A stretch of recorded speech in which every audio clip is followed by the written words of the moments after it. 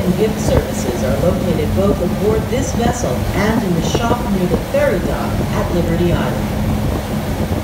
For those traveling with groups of children, the National Park Service requires that there be one chaperone with every 10 children and that the group remain together at all times. Under normal conditions, the last ferry will be departing from Liberty Island at 6:45 p.m. Ferry schedules are posted aboard this vessel and at the National Park Service Visitor Information Center on Liberty Island. If you have any questions or have an emergency while visiting the island, please contact a National Park Service ranger or a United States Park Police officer for assistance.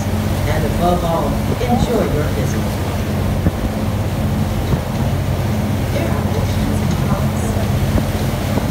Fish swim